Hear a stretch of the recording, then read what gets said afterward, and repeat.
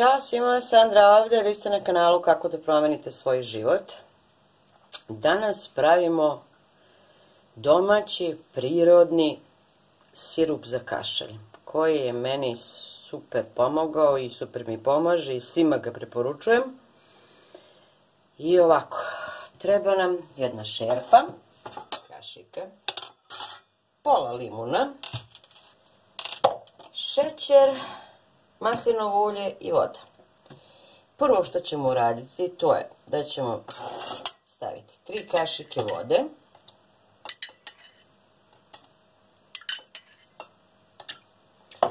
I u to ćemo dodati tri kašike šećera koji ćemo ušpinovati, ali ne totalno, već onako blago, kad počne da se špinuje, onda ćemo ga pomeriti sa vatre da se ne, ne stvrdne mnogo.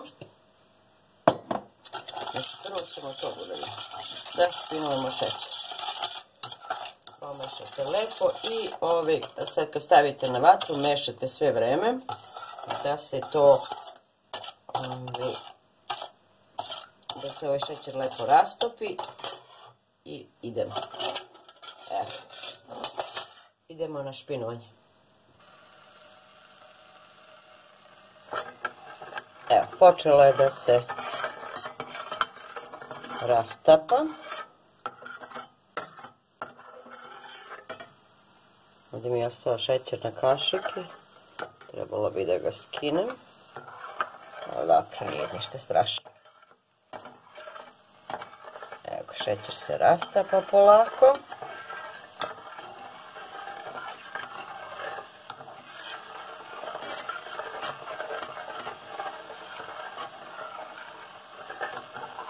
Znači ne treba da bude previše ušpinovano. Treba lepo da se rastopi šećer i onda ćete vidjeti one, kako se kaže, vidjet ćete balončiće one kad krenu, evo. Vidite kad krenu to da radi. Ne treba da bude ni previše redko, ne treba da bude ni previše gusto. Sad ćete da vidite.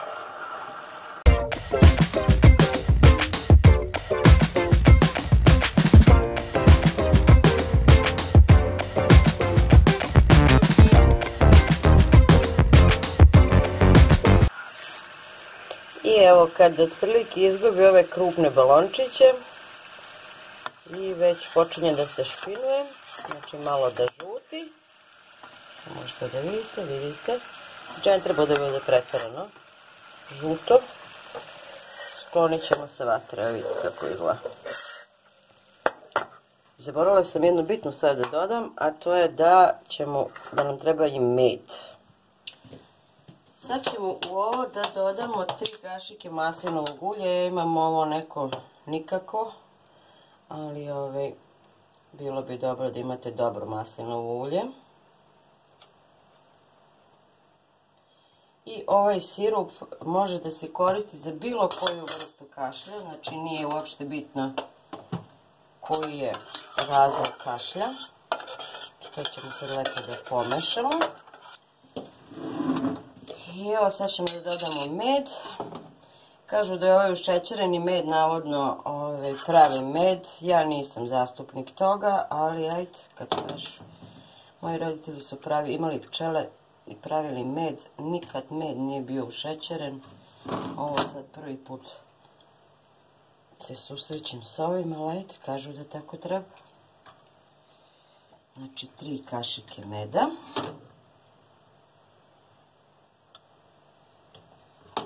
Što je ušećereno, onda moram da ga skidam sa tegle. Ok. Sad se to lepo izmeša i istopi. Sad ću da ga promešam. A umeđu vremenu ću iscedim luk, e, pardon, iscedit ću limun.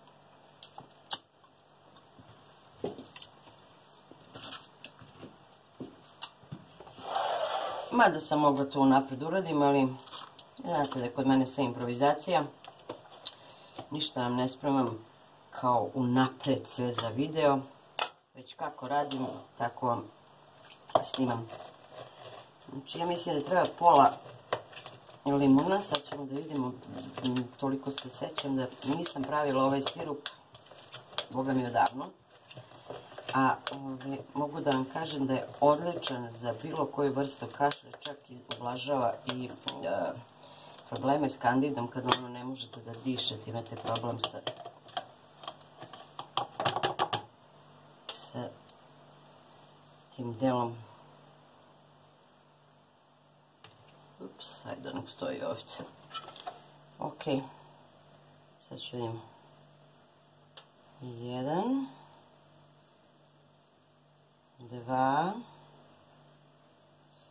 tačno tri kašike limuna od pola limuna. Mada ovdje mi nešto, nešto mi je slabiji ovaj limun. Što je još malo. Nije mi bilo pune tri kašike. I sad ćemo to da promešamo. I to je cela filozofija. Znači sirup se uzima, znači svaki put kad ono krenete da kašljete, vi uzmete kašiku. Nema onoga sad kao tri puta dnevno ili nego kad osjetite da vam je teško, da, da imate problem da kašljete. I ovaj sirup je odličan i za decu. Prvenstveno zato što ovaj, tu neku sluz, tako da kažem, koja se ovaj, stvara zbog kašlja. E, deca to izbacuju, deca, svi izbacuju kroz stolicu, znači nema onoga da, da kašlje ja. Nešto mi se ovdje desilo pola videa mi se izgubilo. Šta sam rekla, nemam pojma. Da, htjela sam kažem da ovaj, ovaj sirup e, slobodno možete da dajete deci, ne znam da sam rekla šta sam rekla.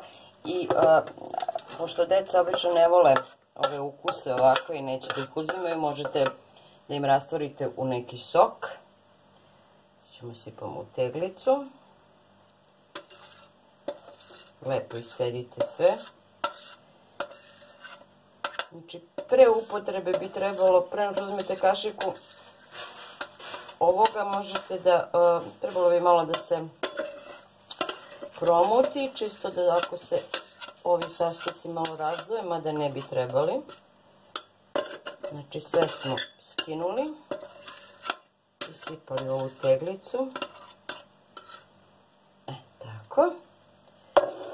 E, ja bih uzela, dobro i ovu teglicu može da stane kašika kao što vidite.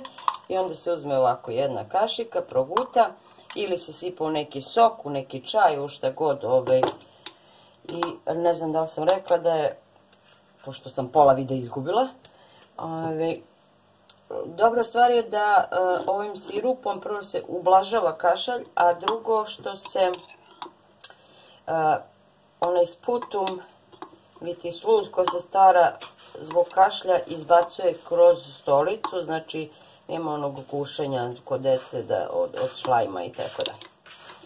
Probajte. Meni ovo pomaže, meni je ovo super. I ovaj, obično ga imam u kući napravljenog uvek, znači stavite u frižider, može da stoji, ne morate ovaj, da ga pravite tek onda kad dobijete kašalj, već ovaj, možete da ga uvek imate u frižideru, ne kvari se. Ovo moje mače pravi haos. Tako da, ok, probajte. Meni, meni prija, meni odgovara. Mnogim ljudima znam da odgovara. Moja komšinica imala mm, alergijski kašalj, isto joj je pomagalo. Znači, koja god je vrsta kašlja u pitanju, slobodno uzmite kašiku i vidjet ćete kako ćete da se osjećate. Ok, zvezdice moje. Ja sad ostavim kašiku, hoću da uzmem jednu kašiku. Ove, nadam se da ste dobro i sijajte kao zvezde jer vi jeste zvezde svog života. Do sljedećeg videa. Ćao!